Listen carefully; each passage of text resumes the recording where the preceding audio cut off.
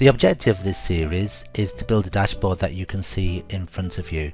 This is from the ECDC, the European Centre for Disease Prevention and Control. It's the EU's body for public health. And what they've done is they've built a public dashboard that looks at the COVID-19 situation worldwide, not just for the EU. And it's basically various views on the data, which is countries and by country, by date, uh, the number of deaths and the number of cases. Let's have a look at the data in more detail. The data for those dashboards is available from this page here. Both the links to both pages are in the comments below.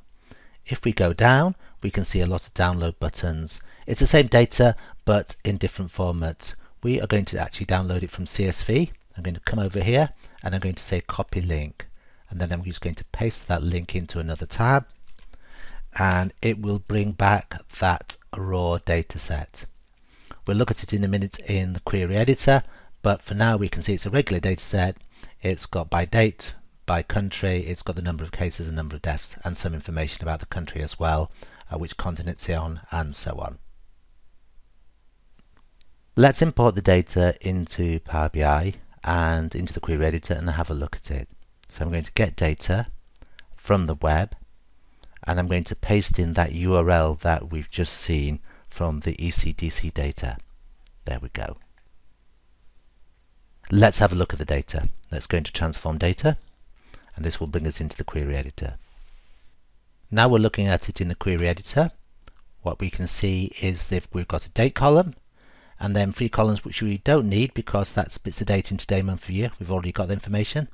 The number of cases, the number of deaths for a particular country, and it's got both uh, a two-letter country code and uh, a three-letter country code, the population of the country in 2018, and the continent.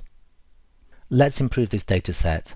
I'm going to rename it to base and I'm going to remove these three columns. We don't need them because we've got the date and then I'm going to rename all of the columns.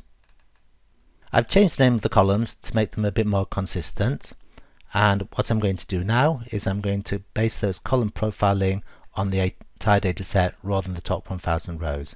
It's done that. For example, we can have a look at continent. We can see there's 13,000 rows there and we can look at the various continents. Apparently a country has a continent of other. We can look at the country column as well.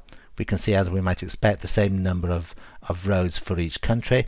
If we have a look at uh, United States of America and United Kingdom, notice there's an underscore there uh, where maybe a space should be and we can correct that. Now this data set is really two tables. There's one table which is updated every day which is our kind of fact table and for every country, every date it has the, the number of cases and the number of deaths.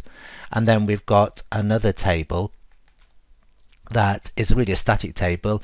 It's a one row it should be one row for every country and it's got some attributes of the country, various ISO codes, the population in 2018 and the continent that it's on.